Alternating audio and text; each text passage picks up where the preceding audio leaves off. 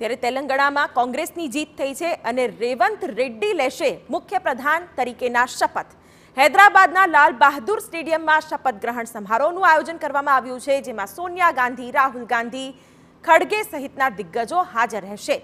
બપોરે એક વાગ્યે શપથ ગ્રહણ સમારોહનું આયોજન કરવામાં આવ્યું છે. સીએમની સાથે સાથે કેટલાક પ્રધાનો પણ શપથ લઈ શકે છે. તેલંગાણા કોંગ્રેસના કાર્યકરોમાં ઉત્સાહનો માહોલ. ત્યારે દક્ષિણના સૌથી નવા રાજ્ય એવા તેલંગાણામાં કોંગ્રેસની જીત થઈ છે અને ન્યાય બે હજાર એકવીસમાં કોંગ્રેસના પ્રદેશ અધ્યક્ષ બનાવ્યા હતા. બે વખત ટીડીપી અને એક વખત કોંગ્રેસના એમએલએ રહી ચૂક્યા છે અને બીઆરએસ વિરુદ્ધ વાતાવરણ ઊભું કરવામાં તેમનો સિંહ ફાળો માનવામાં આવી રહ્યો છે. રેડ્ડીના પ્રયાસોથી કોંગ્રેસને તેલંગાણામાં જીત મળી છે.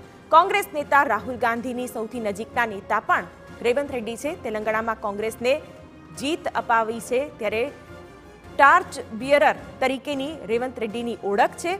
કોંગ્રેસના સાંસદ છે રેવંત રેડ્ડી અને તેઓ સીએમ પદના શપથ લેશે. એક વાગે શપથ ગ્રહણ સમારોહનું આયોજન, જેમાં કોંગ્રેસના દિગ્ગજ નેતાઓની પણ હાજરી.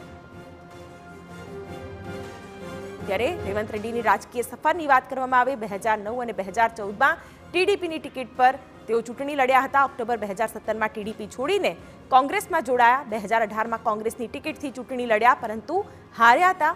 બે હજાર ઓગણીસની લોકસભા ચૂંટણીમાં કોંગ્રેસે ફરીથી ટિકિટ આપી. મલકાજગીરી લોકસભા બેઠક પરથી બે હજાર ઓગણીસની ચૂંટણી જીત્યા અને હાલમાં લોકસભાના સાંસદ છે રેડ્ડી. રાજકીય કારકિર્દીની શરૂઆત તેઓએ એબીવીપીથી કરી હતી. અને વિભાજિત આંધ્ર સમયે કોડંગલ બેઠક પરથી તેઓએ પોતાની રાજકીય સફરની શરૂઆત કરી હતી.